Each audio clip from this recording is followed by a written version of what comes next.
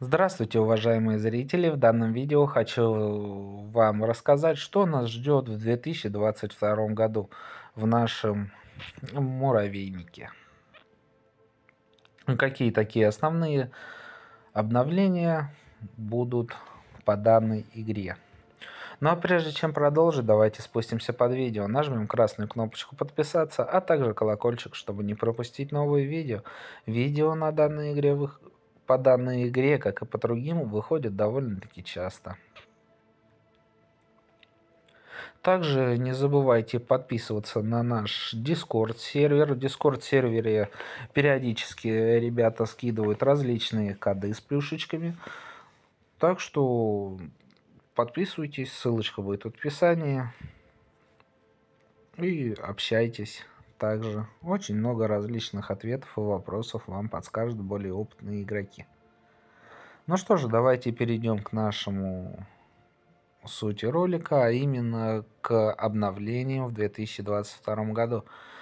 Первое, наверное, все уже догадываются, что это будет. Это в нашей мутированной флоре будет добавлены грибы как пишется, скоро, скоро, скоро. Также будет прокачка грибов. Это поднятие атаки, здоровья и защиты. Также данные прокачки как бактерий и грибов будут раз... так, распиханы по нашим рассвету колонии по различным дням где-то определенные. Как видите, то, что по пятницам у нас прокачка гена идет. Следующее в подземелье будет добавлено как раз-таки в понедельник вызов по нашим грибам.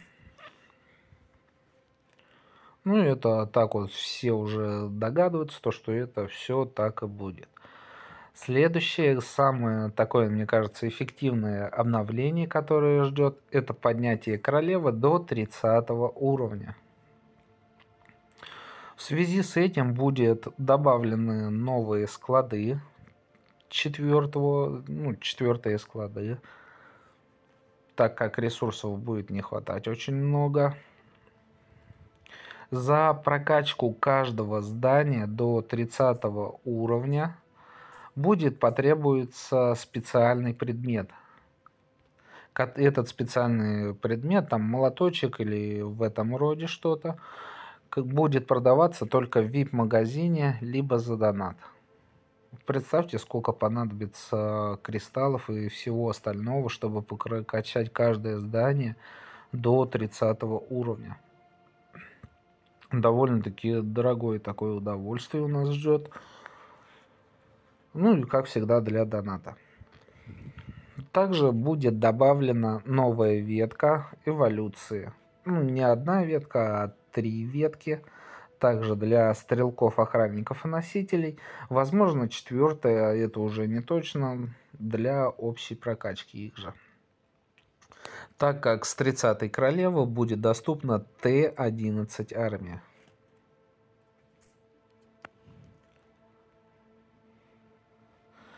Так, следующее, что нас будет ждать в 2022 году, это добавление нового дикого существа. Новое дикое существо будет стрекоза, только пока что неизвестно, это будет стрекоза для битвы или для нашего развития муравейника. С этим пока точно сказать не могу, об этом ничего не известно, просто была новость, то что будет добавлен новая насекомая стрекоза. Также будут добавляться много различных наших ивентов в центре событий, чтобы получать нам больше и больше различных плюшек. Ну и как всегда это чем больше, тем лучше выманить из нас денежки. Так, следующее, что нас ждет, это создание нового сервера. Называться он будет сервер Императора. Как мы все знаем, то, что у нас есть дерево. Давайте к нему перейдем. У каждого сервера есть свое, а какого, свое дерево, за которое проходит битва королей, в котором можно получить различные подарочки, плюшечки, поощрения, различные должностя, кому какие нужны, необходимые, и прокачка самого района. На сервере императора будет ну, такая же происходить ситуация, захват такого же практически дерева. Будут различные посты для каждого сервера, а также будут довольно-таки добавлены хорошие, шикарные плюшки, которые можно получать. Здесь, если посмотреть, то только бриллианты, ускоры и немного ресурсов. Там будут бактерии, клетки, эссенции, которые очень редкие. Также будут добавлены специальные предметы для прокачек клетки, которые на данный момент действуют только за донат. Также в этом сервере будут даваться за количество убитых войск, потерянных войск очки. Чем больше очков, в рейтинге будете получать отдельные свои подарки. Не если даже вы не захватите данный сервер и данное здание. Довольно-таки хорошо и приятненько, тем более войска у всех копятся, у всех они лишние, лишние, лишние, никому не нужные, ну, никуда их деть нельзя все равно они полностью все в войне у нас не участвуют. Так, следующее, что нас ждет в обновлении, это добавление нового здания. В этом здании будут проходиться по главам. В каждой главе будет 15-20 миссий. За каждую миссию вы будете получать различные предметы также для прокачки клеток, бактерий и э, всего остального. Ресурсы, ускоры. За убийство босса вы будете получать фрагменты наших насекомых, точнее не насекомых, а спецмуравьев.